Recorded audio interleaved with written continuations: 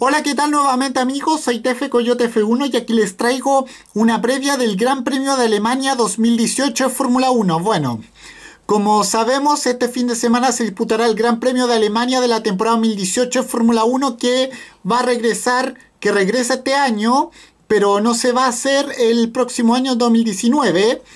Y bueno, como sabemos, se correrá como casi siempre ha sido en el legendario circuito eh, de Hockenheim. Y bueno, recordemos que el Hockenheim era una pista larga, pero a partir de 2002 eh, empezó a desarrollar... Eh, empezó, a, empezó a desarrollar un trazado distinto ya que lo rediseñó el arquitecto Hermann Tilk y bueno como sabemos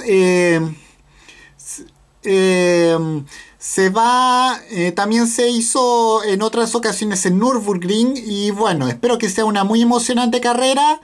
Espero que Ferrari y Fettel puedan ganar para que se mantengan como líderes del campeonato, tanto el campeonato constructores como el de pilotos. Y bueno, con esto me despido, nos vemos, adiós, que me fuera, chao.